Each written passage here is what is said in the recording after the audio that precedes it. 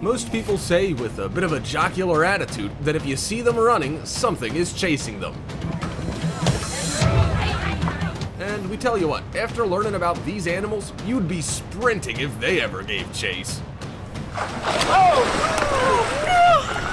From an aggressive fish that'll make you stay out of the water for good to a deadly octopus that means business, here are 15 dangerous animals you should run away from. Before we begin, make sure to hit that like button, subscribe to our channel, and click the notification bell for more amazing videos every day. That being said, let's begin.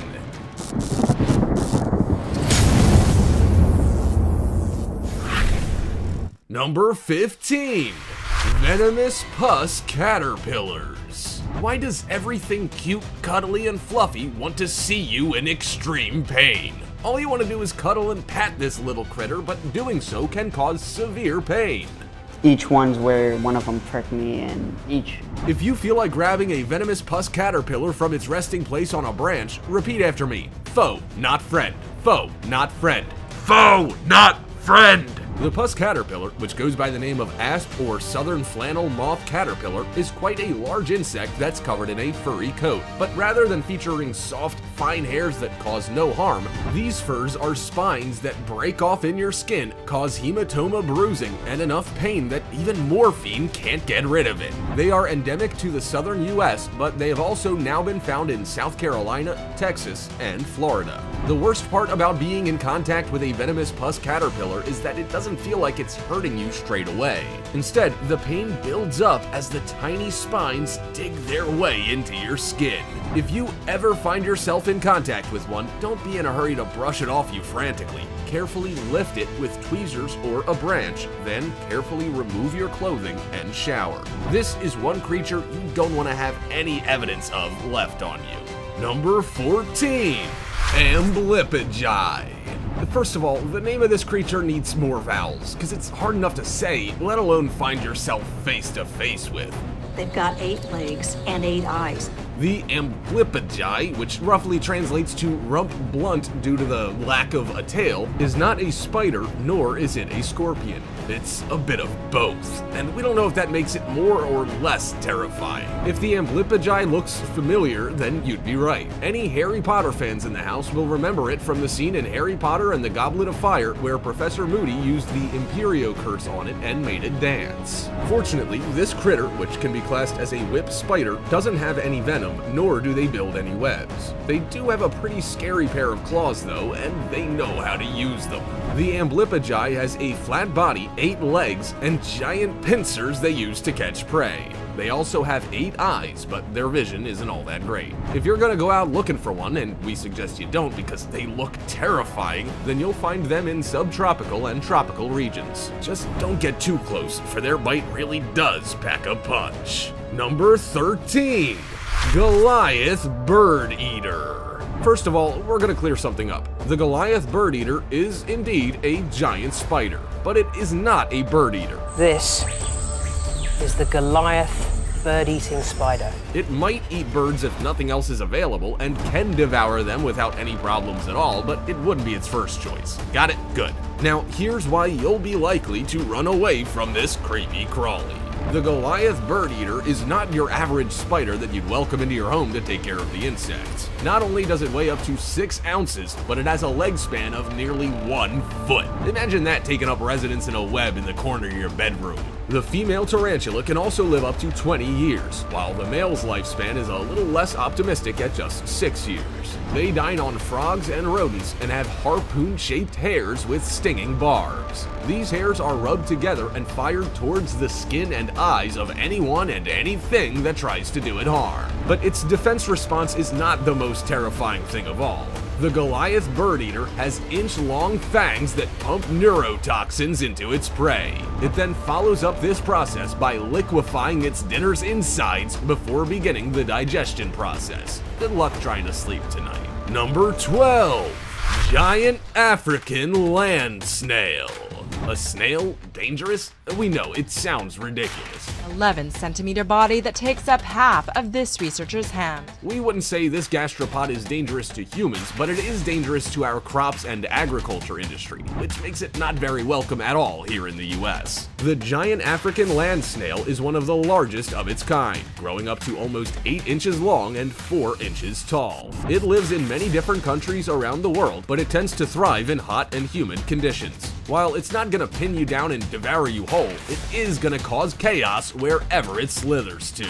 It loves plants and will decimate crops and greenery of around 500 different types. It's highly invasive and also breeds quite rapidly. They can hatch about 1,200 eggs per year with a survival rate of 90%. They're also quite horrifying to look at, especially if you're a little bit squirmy with insects. They have a brown, red, and yellowish shell and a slug-like body beneath it. They even have tiny teeth so they can scrape their food before they tuck in. So while not dangerous in the traditional sense, this insect is still not for the weak-stomached. Number 11. Goliath Tigerfish. If you enjoy sleeping and having sweet dreams, then skip this part. Or maybe just watch a video on unicorns or something. Lumps out of other fish, it will take lumps out of crocodiles even. The Goliath tigerfish is an aggressive, terrifying, and huge fish that's not afraid to show you who's boss. It's an African fish that can weigh over 110 pounds and can even grow up to around 5 feet tall. Basically, it's the size of a child. But unlike children, this fish is vicious. It exhibits exceptionally violent predatory behavior and is not afraid to fight back if it feels under threat. It has a mouth full of dagger-like teeth, a muscular body, and a taste for crocs. That's right, if it finds a crocodile that's small enough, it will have it for dinner. And it doesn't just eat it daintily either. It will literally tear it apart with its razor sharp teeth. Sounds delightful, doesn't it? They hunt in packs, are excellent swimmers, and will decimate a fishing rod should you happen to catch one. Fortunately, they spend more time hunting than breeding, which means they're not a population of fish that are about to overrun rivers and lakes. But still, they are a fish that'll send you running for dry land, that's for sure. Number 10. Tiger. A tiger is a dangerous animal that you'll definitely want to run away from. But will running do you any good? This big cat will win against you in the water, for it's a good swimmer, and it will undoubtedly win against you on the land.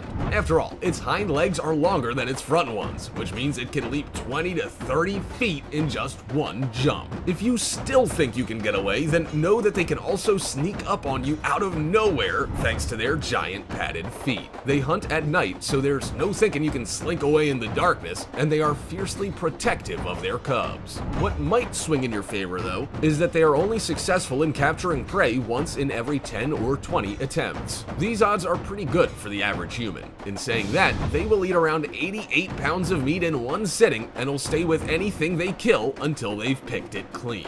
There's also no chance you can overpower them either, for they are the third largest land carnivore and weigh up to 660 pounds. If you find yourself in tiger territory, we've got our fingers crossed for you, because it's not looking good. Number 9. Cone Snail. Gary the Snail from SpongeBob SquarePants may look harmless, but if he's a cone snail, then he's a cold-blooded murderer. down their throat, into their stomach, and eat the whole thing. The cone snail is a 6-inch sea critter that lives in reefs in the Indo-Pacific. They have brown and white shells and, believe it or not, feed on fish. How on earth does a small snail manage to bring down a fish? Well, the answer will see your water exploits limited to the bathtub from here on in. They are venomous. And not just a little bit, but a whole lot. They are the most toxic of over 500 cone snail species and have several human deaths to answer for. They use an awful harpoon-like tooth to deliver the venom, which causes paralysis. There is also no way to cure it other than to try and keep the sufferer alive until the toxin wears off. But it's not all bad news. There's potential in the research world for the venom of a cone snail to form part of pain-killing drugs. So far, it has been proven to be 10 times more powerful than morphine. Researchers just have to figure out how to make sure it doesn't kill anyone in the process. Number 8. Japanese Giant Hornet. If you went around biting people until their organs failed, ripping the heads off people, and dismembering their bodies, then you'd probably end up in jail or death row. Everyone just take a moment to soak this in. But the Japanese giant hornet gets away with it, and they are definitely a dangerous animal that you're not gonna wanna get close to. They are twice the size of a normal hornet and probably twice as grumpy too. Their venom can be fatal, and they have a long stinger and mandibles that allow them to tear their prey apart, literally. Sounds like a delightful insect, right? What they do have going for them is that they're quite pretty. They have black, yellow, orange, and brown coloring, yellow bands, and dramatic broad wings. But their looks won't win them any kudos with those they're trying to hunt down. They can fly at speeds of 25 miles per hour, and they are incredibly aggressive. If you happen to stumble across a Japanese giant hornet nest, then all we can say is be calm. Running will only cause them to take up chase and attack. Up to 40 people lose their life to giant hornets every year, with most deaths caused by anaphylactic shock. However, their venom can also cause death as it can chew through tissue and decimate red blood cells. Want to avoid being stung? Stay inside. Number 7. Polar Bears. Polar bears look cute and cuddly. They may even offer a false sense of security with the way they plod daintily around on the ice. But they're still a dangerous animal that you should run away from. She's feeling that. They're not the most vicious or confrontational bear, so that's nice to know. But they have a particular set of attributes that would see them win out in a battle of human versus polar bear. First, they're great swimmers. They aren't called marine mammals for no reason. They spend much of their life in the sea ice, which means they'll beat you in a freestyle race no problem. Even if you consider yourself a decent swimmer, their heft will likely see you lose in a fight anyway. They can weigh as much as 10 men or around 1700 pounds and up to nearly 10 feet tall. Fortunately for us, but not for them, they don't have much luck with food. Fewer than 2% of their hunting expeditions result in food, and they often settle for small mammals, vegetation, birds, and eggs. Still, would you really want to try your luck in a fight against a polar bear? Probably not. Number 6. Assassin Caterpillar. The everyday caterpillar is dangerous enough, but usually only from an agricultural perspective. These spines are toxic, and if you touch them, Sure, their fur can be quite irritating, but that's typically as far as it goes. The assassin caterpillar, however, is a dangerous animal you should run away from. You are not gonna like what this creepy critter has in store for you. The assassin caterpillar is responsible for many deaths every year. As they blend into the rainforests of southern Brazil, they can be hard to spot until it's too late. Their bristles, which look like tiny spears, have an anticoagulant venom which can cause bleeding, red blood cell rupture, and vomiting with just the slightest brush against them. The worst part is, if you touch one by accident, you usually end up feeling more than one. And if that's the case, renal failure, internal hemorrhaging, and death are common. If you find yourself adventuring through southern Brazil, then do be on the lookout. Don't touch the bark on any trees and consider visiting in a colder month of the year. Otherwise, this dangerous critter could wind up ending your life. Number 5. Amazonian Giant Centipede. Why is it that everything in the shape of a snake wants us dead? If it's not the snakes themselves, it's caterpillars and centipedes. We're looking at a pretty large centipede. This animal Can't we all just get along? The Amazonian giant centipede is an aggressive, grumpy, and unfriendly insect that's both giant and venomous. It grows up to 12 inches long and has a pair of legs on each of the 21 to 23 sections on its body. That's a lot of legs. But don't get too caught up in counting legs, for you'll need to use your own to run away from them. The Amazonian giant centipede may not have the best eyesight, but they sure know how to eat. They devour birds, snakes, bats, tarantulas, frogs, and lizards, and they will slice and dice their victims until they're in bite-sized pieces. If that's not bad enough, then the venom they release is. It's that toxic that it can kill small animals and can affect humans too. Anyone who's been bitten by an Amazonian giant centipede can find themselves with fatigue, a chill, fever, pain, and swelling. While death is unlikely, it's still not a comfortable experience. If you see the Amazonian giant centipede on your travels through South America, run. Number 4. Scorpions. Scorpions are pretty interesting animals, but they're also ones that won't make you want to get up close and personal with them. They are one of the very first predators to walk on land. Firstly, let's touch on what makes them interesting, and then we'll move on to why you should stay as far away from them as possible. They're pretty darn resilient. They have been around for at least 400 million years, and each scorpion's lifespan is around a quarter of a century. They can live for about one year without food and will even survive underwater for up to two days. That's pretty impressive. They also glow in the dark, which can be really helpful in trying to locate them. All you need is a UV light and you can work out if you've got an infestation around your property or not. But here's where they turn from impressive to downright terrifying. They are venomous. They have a needle-like point on their tail that delivers venom. How much venom it produces depends on how badly it wants to kill. Fortunately, being stung by a scorpion doesn't mean you're planning your funeral. It's not comfortable, but there is an anti-venom available. There are also only a few scorpion species, like the Arizona bark scorpion, that can produce a fatal sting. Number 3. Portuguese Man o' War The Portuguese Man o' War will blow your mind. But even though it's intriguing, that doesn't mean you should get up close and personal with them. After only the briefest of touches, it feels like my skin is on fire. They look like jellyfish, but they are anything but. Instead, they are a siphonophore, which is not so much one critter, but several in one. The siphonophore starts life as an egg, then creates several organisms that group together into a mass. They can't survive on their own, so the Portuguese man of war can consist of dozens, all the way up to thousands of organisms. They live in the warmer oceans around the world, like the Pacific, and their favorite pastimes include stinging humans. Yeah, that's right, they're pretty awful. Thousands of people are stung by the Portuguese man o' war every year, which causes elevated heart rates, red welts, vomiting, and muscle cramps. In some cases, it can even cause death. If you're heading to the beach anytime soon, don't be in too much of a hurry to approach anything that slightly resembles a jellyfish. You may not like what you find. Number 2. Komodo Dragon Komodo dragons are the biggest living lizards on Earth, and they have some pretty interesting skill sets and features that may make you want to learn more about them. Okay, guys.